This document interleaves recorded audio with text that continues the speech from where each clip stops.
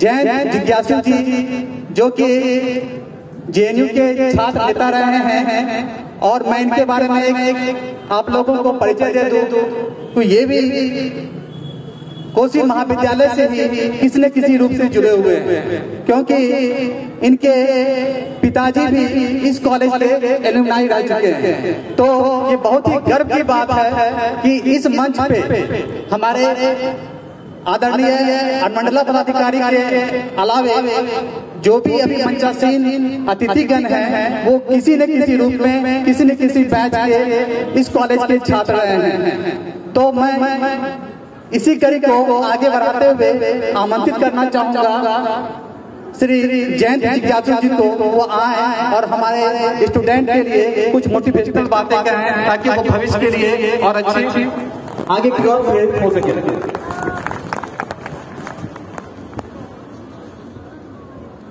बहुत शुक्रिया। एक लंबी यात्रा के बाद जो महाविद्यालय उतार चढ़ाव देखते हुए इस मकाम पर पहुँचा है, उसके स्थापना दिवस पर आयोजित इस कार्यक्रम में मौजूद यहाँ के प्राचार्य महोदय, अनुमंडलाधिकारी साहब नगर परिषद के साबिक सदर और राष्ट्रीय जनता दल के जिलाध्यक्ष भाई मनोहर यादव जी,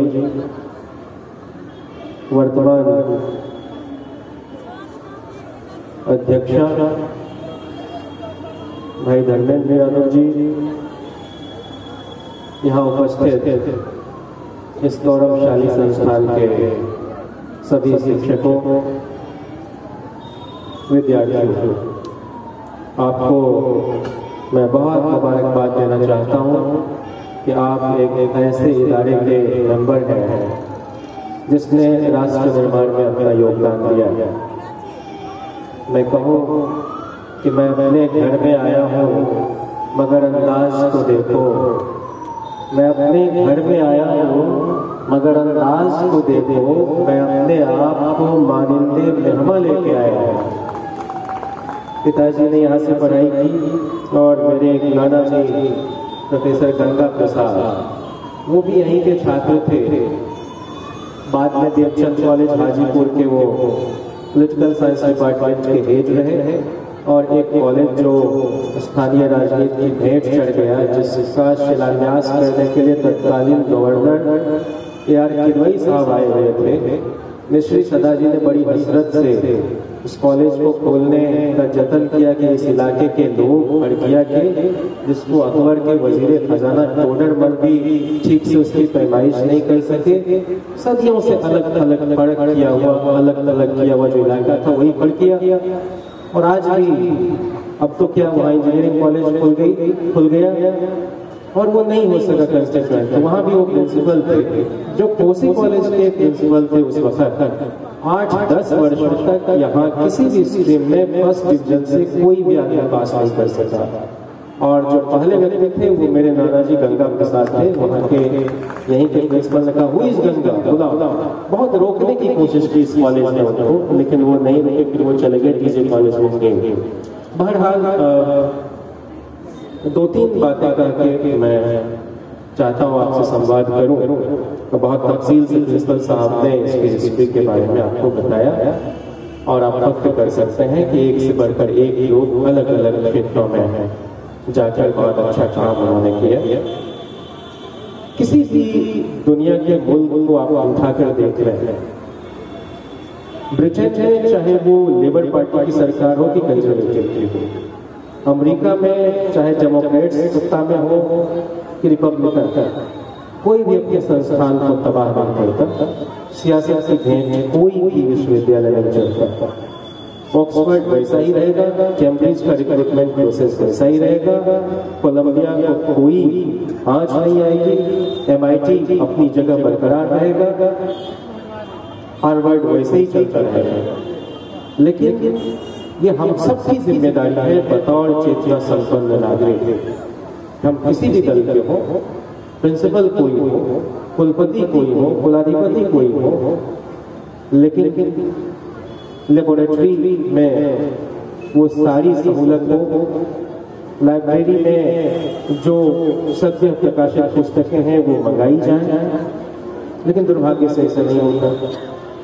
और आप देख रहे हैं जिस समय यह भागलपुर तिलका मांझी विश्वविद्यालय के अंतर्गत हुआ करता था, एक बहुत यशस्वी कुलपति आए प्रोफेसर रामाश्रय यादव वो बीपीएससी के भी चेयरमैन थे। गुणवत्तापूर्ण शिक्षा सुनिश्चित करने के लिए पहली दफे बिहार में बीपीएससी ने इम्तहान कंडक्ट कराया और पच्चीस हज़ार शिक्षकों की बहाली बनी लंबे समय बाद एक बार फिर से आप देख रहे हैं कि लगभग ढाई लाख शिक्षक तो जो सरकारी शिक्षण संस्थान है, उनके प्रति जो आकर्षण अभिभावकों का, बच्चों का था, फिर से उसको लौटाना बहुत ज़रूरी है।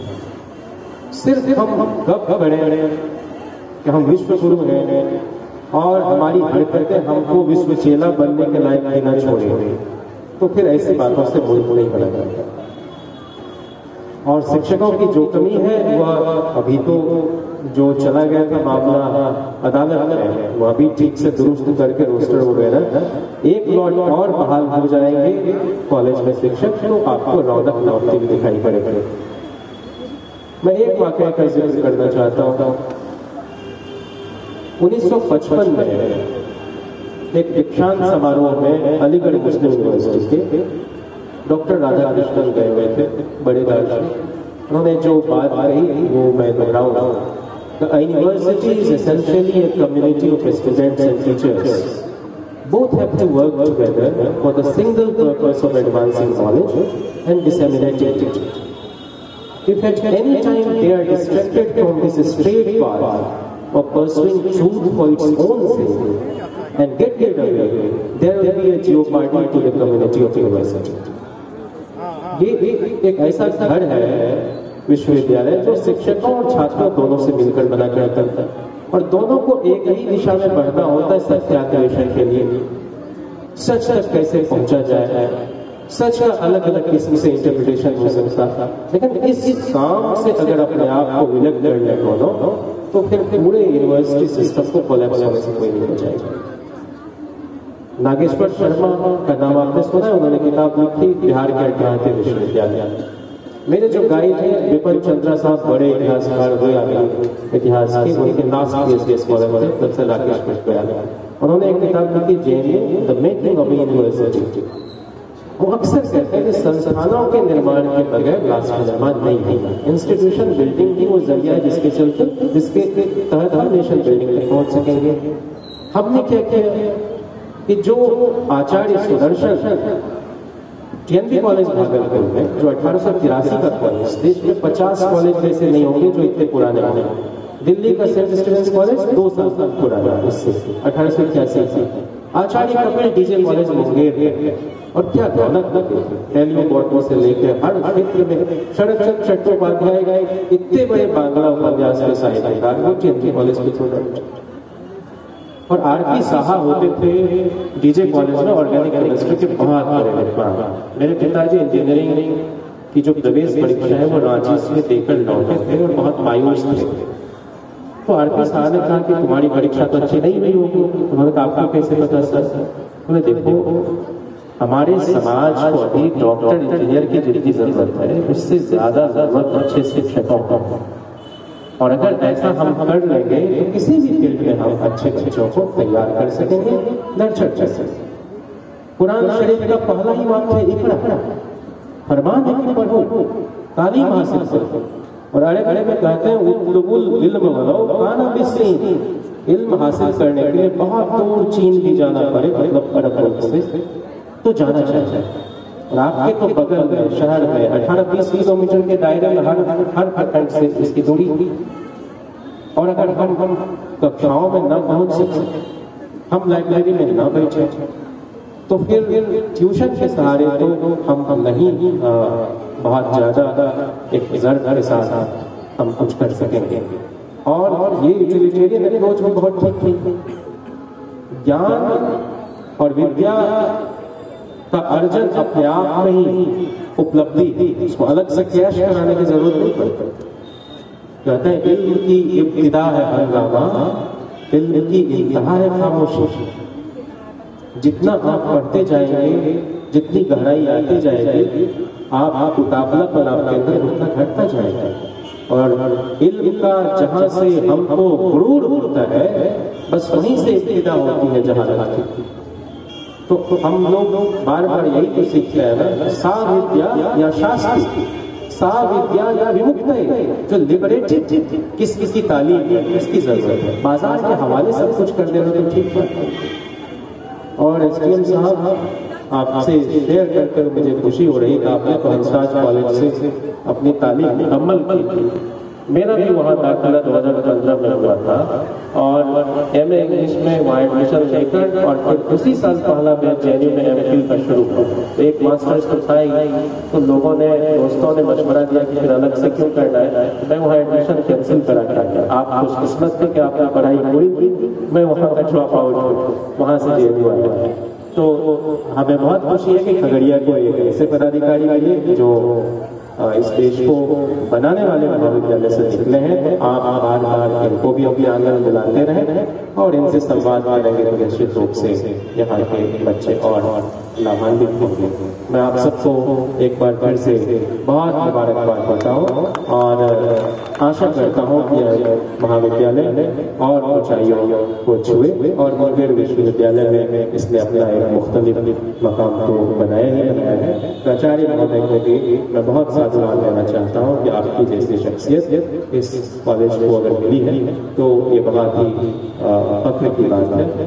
और आखिर में बस इतना कि मेहरबा हो कि बुला लो मुझे चाहे जिस वक्त मैं गया हुआ नहीं हूँ लौट के आगे आ सकता बहुत शुक्रिया।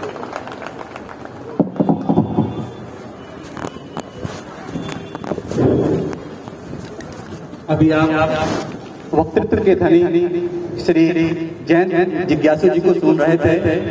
आपका बहुत बहुत आभार। आपने अपने प्रखर वक्तृत्व से यहाँ बैठे तमाम हमारे विद्यार्थियों को मोटिवेट किया। और आपने सच कहा। पथ पे लोग आते रहेंगे जाते रहेंगे लेकिन ये संस्थान सबसे ऊँचा है इसका अस्तित्व बना रहेगा और इसके लिए इसकी बेहतरी के लिए हम सबों को मिलजुल कर प्रयास करना होगा। धन्यवाद। पुनः पुनः मैं आपका बहुत बहुत बहुत इस मंच से धन्यवाद व्यक्त करता हूँ। जय जय जिज्ञासा अब आज के कार्यक्रम को आगे बढ़ाते हुए मैं